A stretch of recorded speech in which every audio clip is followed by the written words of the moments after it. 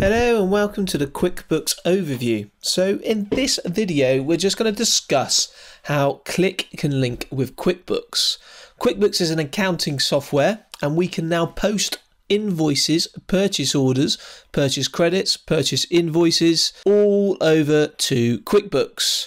So what we're going to show you is just basically how to do that and how to post them. Now there is another video called QuickBooks settings and that will show you exactly how you can link up with QuickBooks and all the settings that are in Clik for QuickBooks. So the first thing we're going to do is we're going to go to invoices at the top here and we're going to click on an invoice that hasn't been posted. So this business exhibitions one here. Now the first thing we're going to do is just check the item, make sure that's okay. Now when it comes to items, you must make sure that if you're posting products, that the products are in QuickBooks as well, so they match.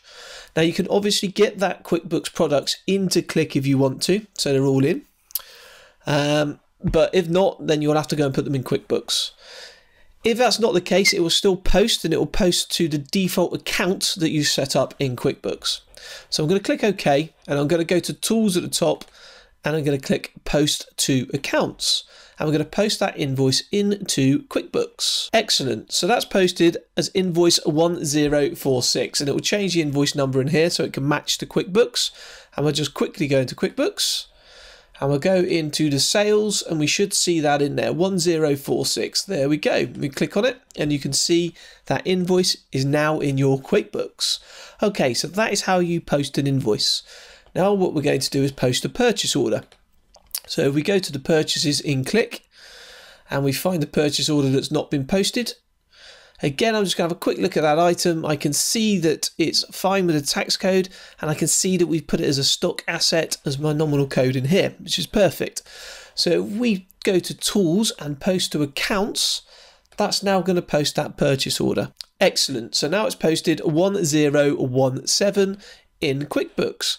So what we're going to do is open up QuickBooks again, just go to expenses so I can show you how that's posted. So we've got 1017 in here.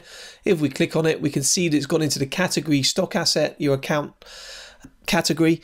So that's perfect. That's all in there. You can now send that to your supplier from QuickBooks if you want, and it will be in your accounting software.